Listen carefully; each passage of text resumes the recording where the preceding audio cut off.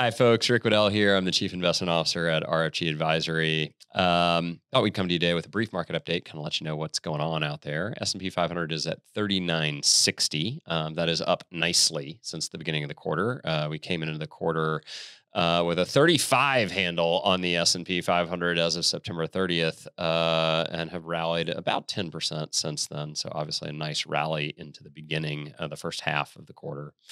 Um, driven in part by earnings. Uh, third quarter earnings we are now largely through with, uh, and companies performed in line to slightly better than in line. Uh, so nothing that really got the market off kilter there.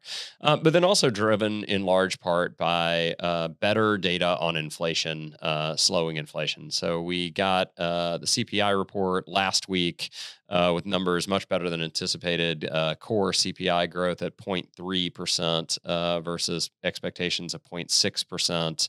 Um, we got softer PPI numbers uh, yesterday. Uh, PPI, Producer Price Index.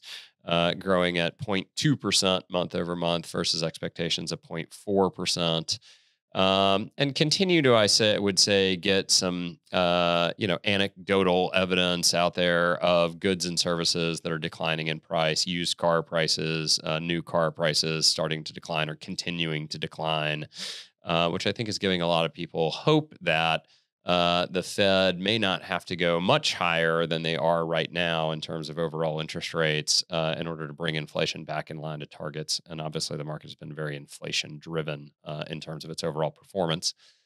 Um, that's the good news. Uh, the bad news is, or maybe it's good news, um, is that we've seen this movie before. Uh, if you'll go back to videos that we were recording back in July, uh, we saw a similar, um, somewhat head fake uh, in inflation, uh, a much softer print than the prior month, uh, and the market rallied about 15% uh, before August rolled around and revealed it to be a head fake, and we gave it all back by the end of the quarter.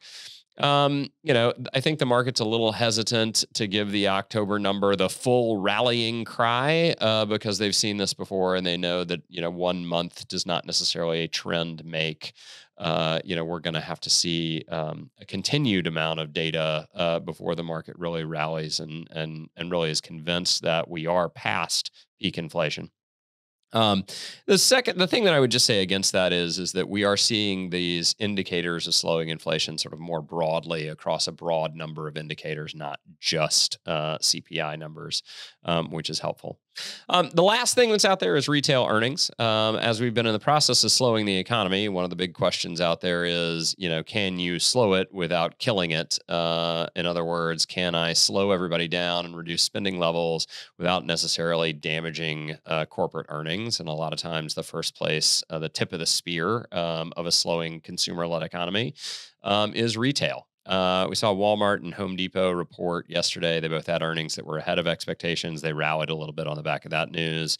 Um, and then we had Target uh, come out this morning uh, and miss, uh, which uh, is giving a little bit of pressure on the market today. Um, the thing that I would just note about retail earnings are it's always very difficult for me, uh, having covered retail for over a decade in my former life to know whether or not the weakness that you're seeing in retail is driven by uh, industry wide issues of consumers just being nervous to spend. Um, or whether or not it's more of a company specific issue of, you know, we did too many lacy tops and not enough straight, or too many horizontal stripes and not enough vertical. Uh, and the customers just didn't like whatever it was that we were putting on the shelves. And so they decided not to buy it.